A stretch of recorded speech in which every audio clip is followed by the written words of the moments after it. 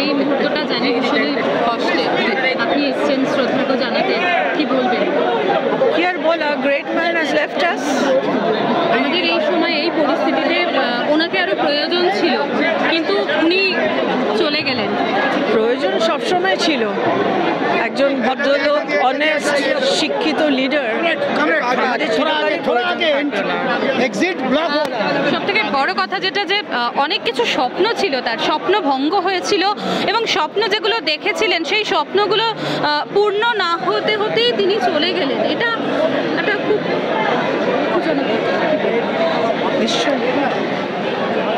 নিশ্চয় আপনার সাথে কোনো পুরনো স্মৃতি মনে পড়ছে? অনেক।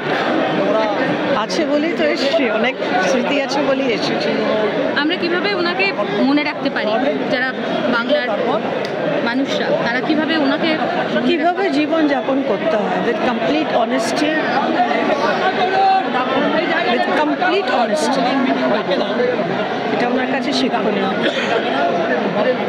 Thank you